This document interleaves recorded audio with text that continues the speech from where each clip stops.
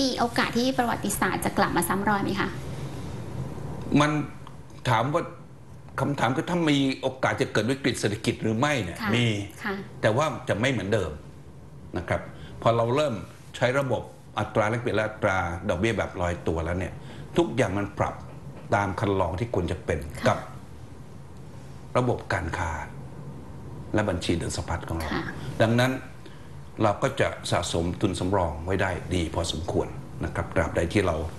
คอยดูบัญชีเดินสะพัดไม่ให้ติดลบนะครับ จุดที่ตามมาก็คือว่าแล้ว อะไรที่ทำให้เกิดวิกฤต นี่คือการ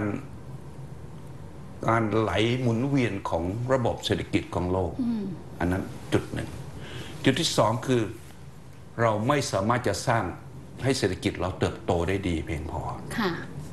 ที่ที่ผมเป็นห่วงมากเพราะตอนนี้เศรษฐกิจเราตั้งแต่ตั้งแต่มีการปฏิวัติครั้งที่หนึ่งมานะครับฉะนั้นเราต้องใช้เวลา 10 ปีพัฒนาการเมือง ก็ยังไม่จบดีค่ะก็รออีก 2 ปีตามรถแมพรัฐบาลชุดนี้เพราะฉะนั้นเราก็ต้องอดทนว่าต้องยอมรับว่าเศรษฐกิจเติบโตไม่ได้ค่ะ จะผลักดันยังไงนะครับ มันก็ได้อยู่แค่เนี้ยสามถึงสามเปอร์เซ็นต์กว่าๆค่ะมันเติบโตไม่ได้ เพราะอะไรเพราะว่า พันธสัญญาระหว่างรัฐบาลมันเกิดไม่ได้อืมกับรัฐบาลประชาธิปไตยค่ะมันก็เกิดได้กับรัฐบาลสังคมนิยมอืมอย่างจีนหรือสหภาพโซเวียตเป็นต้นค่ะที่เรากำลังไปพึ่งก็อยู่ แต่ว่าการไปพึ่งอยู่ด้านใดด้านหนึ่งเนี่ยมันอันตรายมากฉะนั้นเราก็ต้องรีบให้เกิดการเลือกตั้ง ให้เกิดรัฐบาลที่ ทั่วโลกยอมรับ เราจะได้มีกติกาในการแข่งขัน ให้ทุกทั่วโลกนั้นมาสนใจประเทศไทย กลับมาทำพันธสัญญาระหว่าง G2G กันใหม่ค่ะสิ่งเหล่านี้เป็นสิ่งซึ่งรัฐบาลนี้พยายามทำแต่ว่ากติกาของประเทศใน OECD เนี่ยมันไม่เอื้อให้เราหรอกนะครับตราบใดที่ยังอยู่ในในรัฐบาลที่ยังอยู่เป็นรัฐบาลที่เกิดจากการปฏิวัติอื มมันยังไม่เอื้อให้เราหรอก แสดงว่าตอนนี้เราสามารถอยู่รอดในวิกฤตเศรษฐกิจแบบนี้ได้ละ เขาปรับอัตราดอกเบี้ย แล้วก็ปรับอัตราแลกเปลี่ยนค่ะให้สอดคล้องกันอยู่ตลอดเวลาค่ะฉะนั้นเอ่อเราถึงเรียกมันว่าเป็นการลอยตัวโดยมีการจัดการอืมอัตราดอกเบี้ยก็สอดคล้องกับอัตราดอกเบี้ยของโลกค่ะเพื่อให้เราสามารถที่จะมีต้นทุนทางการเงินที่ไม่สูงมากค่ะ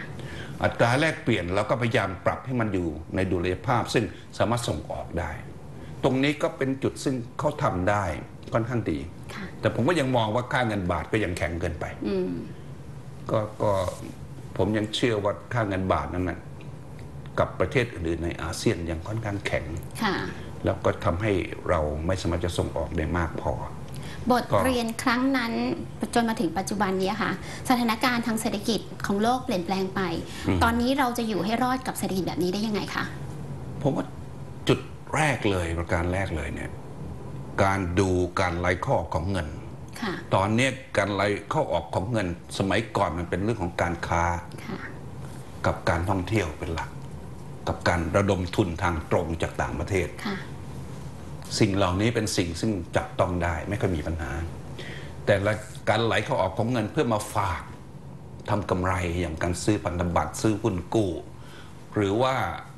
มาลงทุนในตลาดหลักทรัพย์เนี่ยค่ะอันนี้เป็นการไหลเข้าออกซึ่งสามารถจะเข้าเมื่อไหร่ก็ได้ออกเมื่อไหร่ก็ได้ เพราะเราเปิดเสรี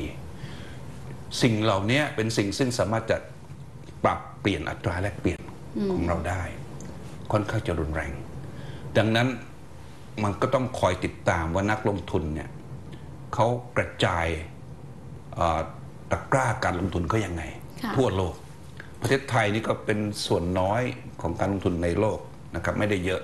ประมาณ 1-2%เท่านั้นเอง ดังนั้น